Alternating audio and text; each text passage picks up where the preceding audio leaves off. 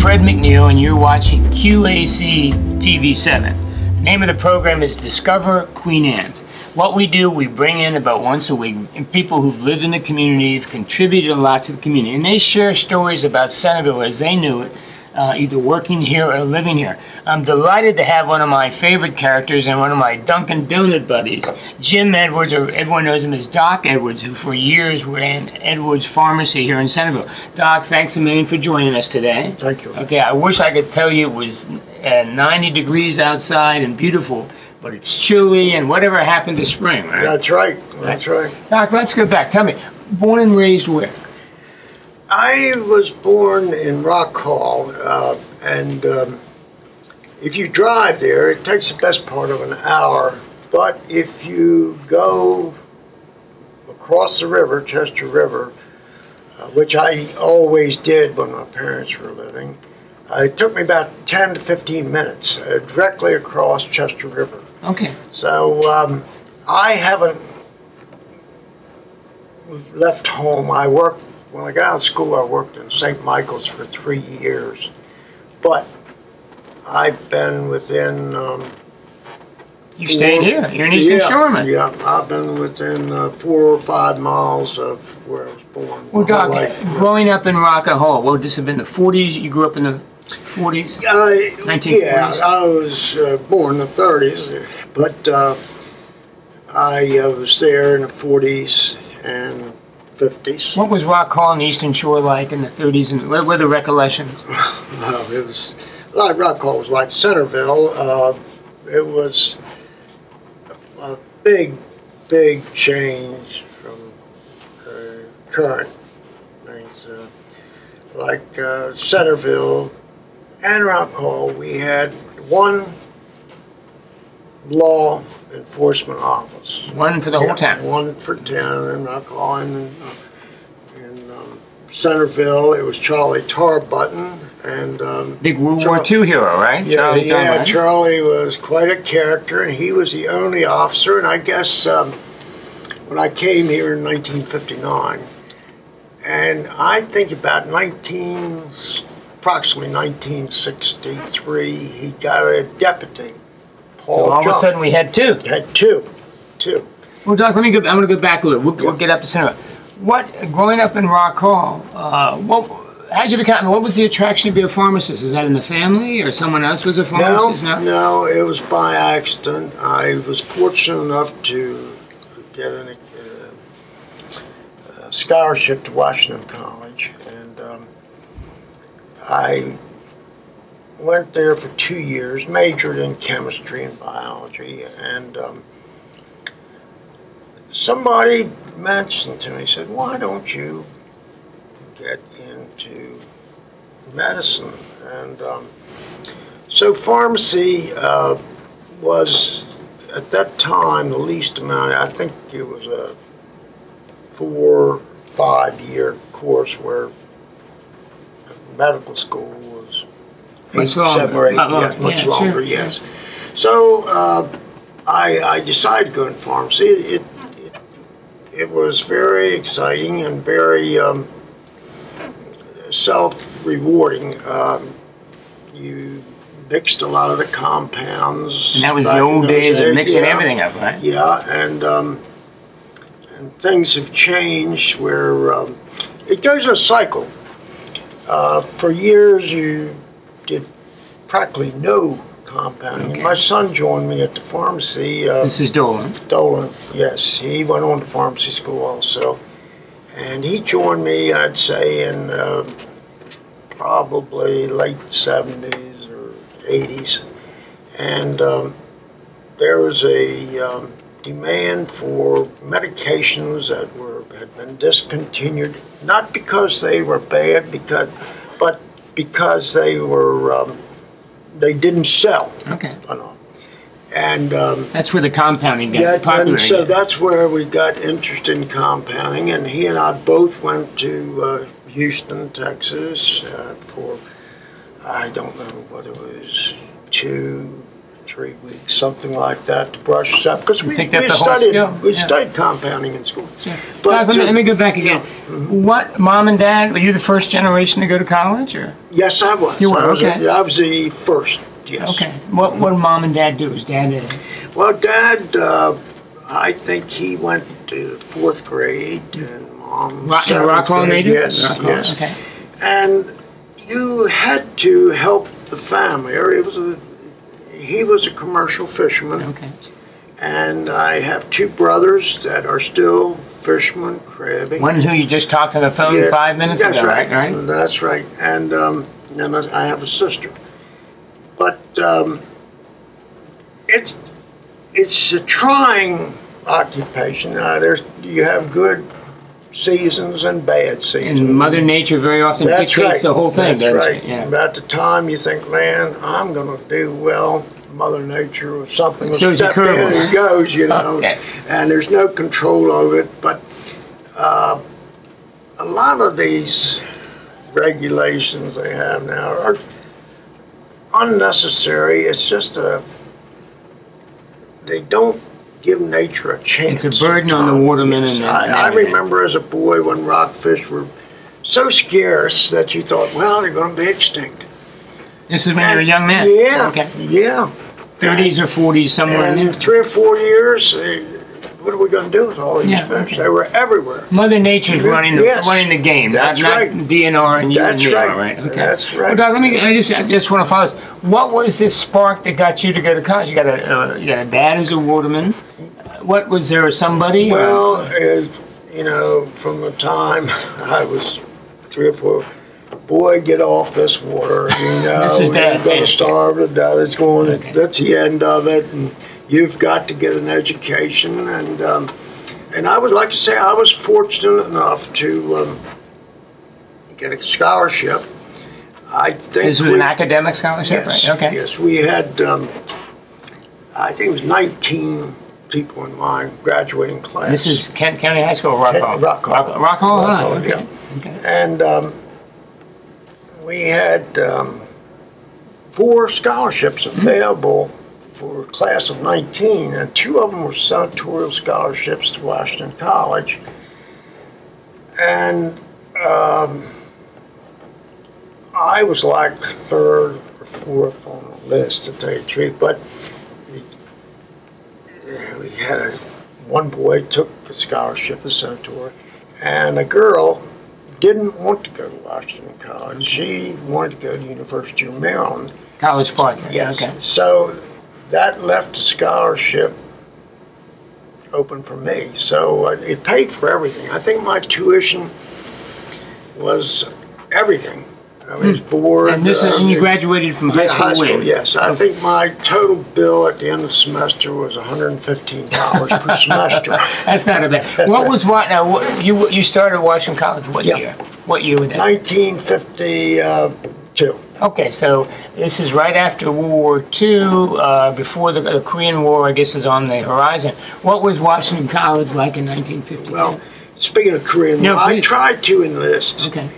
But I was um, uh, with 4F Yeah. or whatever. I tore a knee up. disability yeah, or something. Yeah, phy- but uh, and Korean War was just about over when I was Draft eligible. and Yeah, okay. right. But Now, I spent 18 months in Korea. It might have been a good deal Yes. that you didn't have to yes, go. yes, and then that was a terrible, terrible war. I, you know, I felt so sorry for Just a those cold. people and get no appreciation for it at Still all. don't. Yeah, Still still, don't. don't. Uh, What, it's a shame.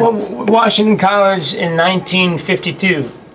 Extremely small, yes, five buildings, yes, I buildings? can't remember. Uh, uh, I I would say in um, maybe uh, maybe two, three hundred. So very small liberal arts maybe college. tops. Yeah, Okay. yeah. Right. college, Doc, did yeah. they still play football in 52 or did Yes, they it, did? was the last year. oh, that was When I got there, it was the last year of football. Now, who would they have played? Like Catholic University and Hopkins? Yes, okay. and and uh, of course it used to be Westminster. Uh, now it's McDaniel. Right, um, okay.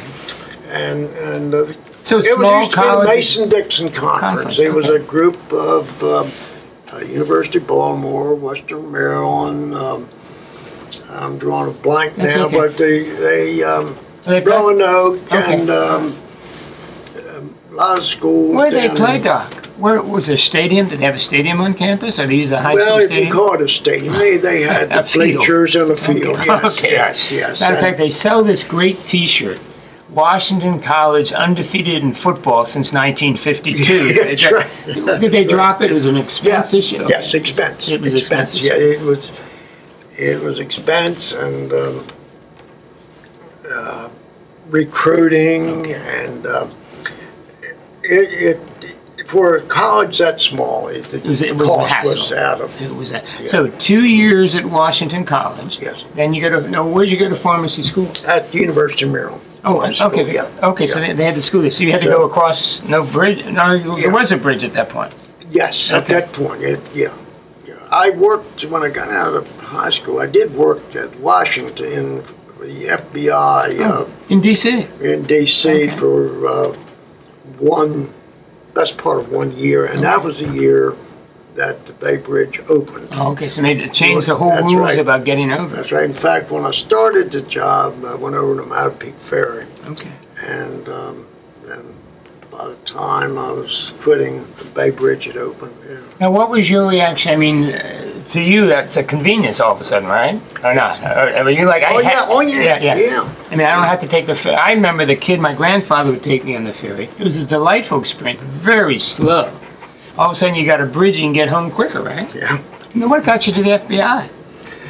Uh, they visited high schools and people that were interested, and it seemed very interesting to me. And uh, they, if you joined them, uh, you join them as a regular employee, but they would give you the opportunity to become an agent.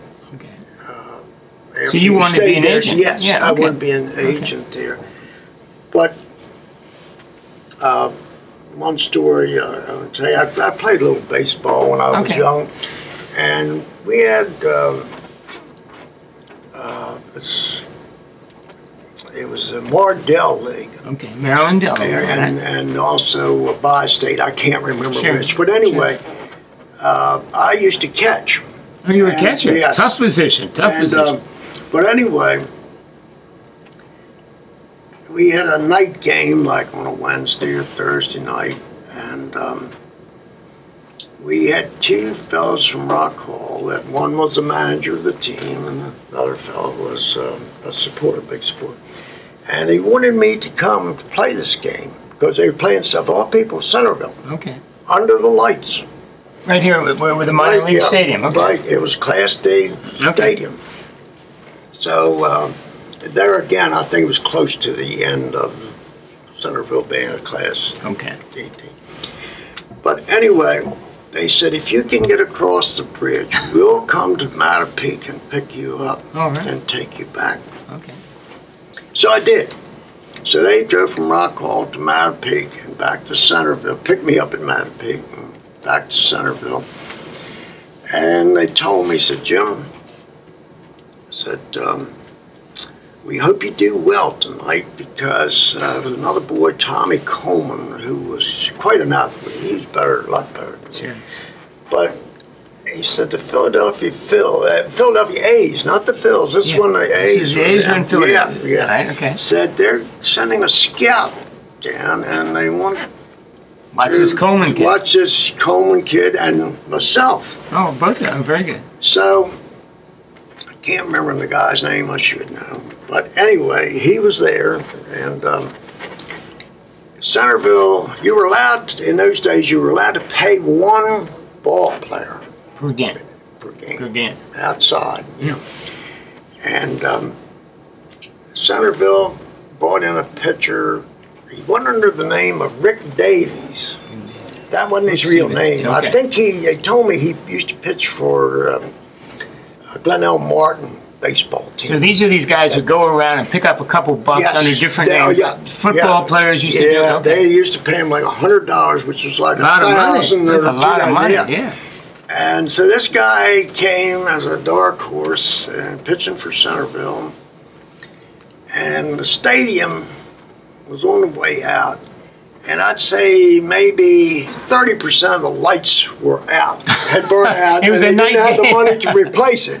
So it wasn't real bright. You don't want to be playing in the corners in That's right, field, right? That's right. so anyway, they bring this Rick Davies in, and he throws a slider. Hmm. I never heard of a slider. It used to be a fastball and a curve or a in shoot or something like that. But this guy threw a slider, and the difference between a slider and other pitches, a slider comes with a spin of a fastball. Uh, you couldn't catch it all night, could you? Well, I could catch it, but I uh-huh. couldn't hit. So, and where a curve fastball, you picked up the spin if you were a Right, hitter, and a curveball, you could see the different See, spin. But a slider come in, you thought that's a fast. This is a fastball. You swing at it, It's not there. and and it it's not there. It Yeah, slips. yeah, It's a yeah, like, yeah, slip. Slides down. I couldn't hit that thing if I stayed all day. So anyway, I went 0 for was three or 0 for four. I think I struck out three times, and I might have tapped back to the pitcher one time. And I was catching, and Centreville was uh, had a man on first, and went to steal a base. And I threw the ball into center field, about three foot over the second baseman's head. And Tommy Coleman, the other boy, he had same trouble with the slider. He Just couldn't hit it? No, he couldn't hit it.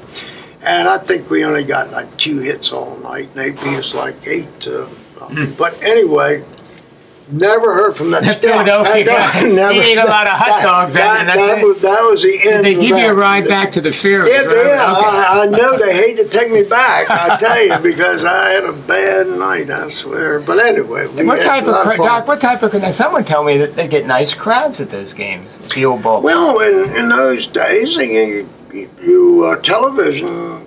Um, I don't know. They even televised No. any game. and It baseball was not really the Yeah, national yeah. sport, right? The NFL Right. wasn't that important, right? And that's right. And um, you tell, most homes didn't have televisions till mid '50s. Sure, sure. In fact, it never.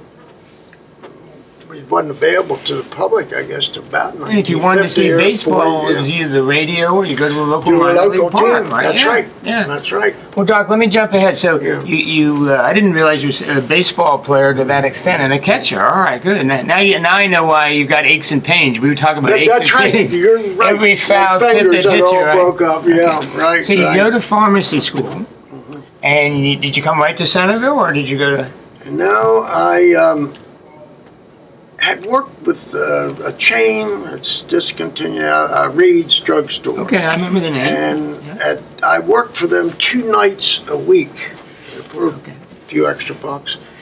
And uh, when I got out of school, they wanted me to stay with them.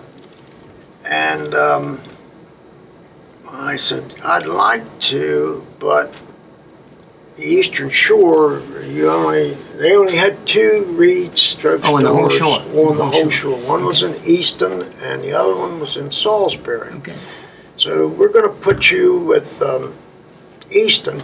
First of all, in those days, once you graduated and got your certificate, you had to work with another pharmacist for six Okay. months. Like a mentor got- trained yes, you, right? right. Yeah, You had- apprenticeship. yeah, before you got your degree. So I, I worked in Easton for about two months, and they called me and said, uh, Jim, we want to have a meeting in Glen Burnie, one of their stores. Okay.